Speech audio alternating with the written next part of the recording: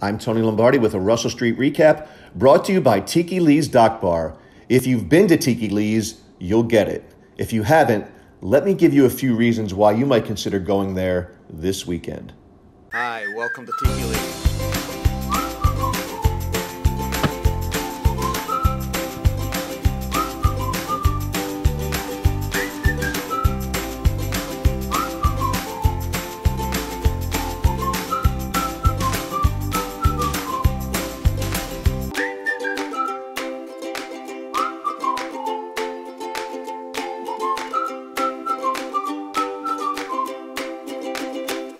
Oh yeah.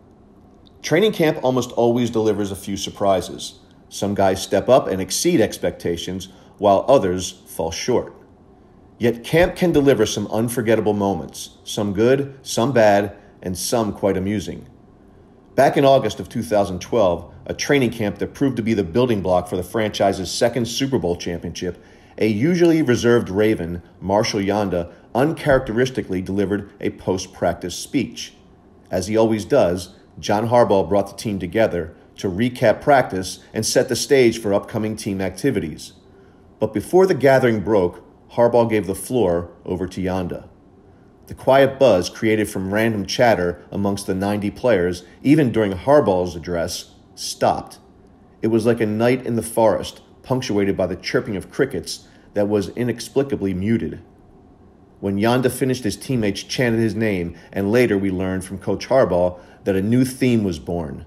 Embrace the grind, fight the heat, work through the pain, beat your man, give all you've got, go the distance, keep your eyes on the prize, and while you do, embrace the grind. A couple of summers ago, Jimmy Smith participated in drills with fellow cornerbacks. One particular sequence involved the tip drill.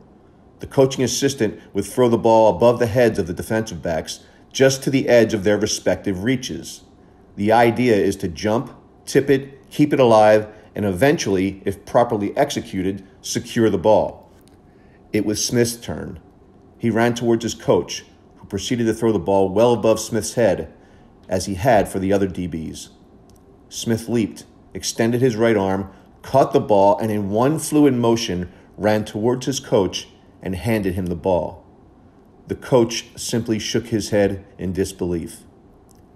During the 2005 training camp, Kyle Boller was tossing passes to receivers matched up one on one with cornerbacks. There is no pass rush during these drills. Boller dropped back and connected with a receiver running a nine route down the right sideline towards the end zone. Just beyond the end zone and about 10 yards to the right of the right sideline was a white metal shed. Boller's pass was off the mark, sailing well over the head of his intended target and right into the shed, triggering an explosive sound that would have impressed attendants at the Aberdeen Proving Grounds. I still laugh about that one. There are many camp stories, and there will be more. Some will fade from memory, others will become folklore. This year's grind begins in a few days. Embrace it. I'm Tony Lombardi.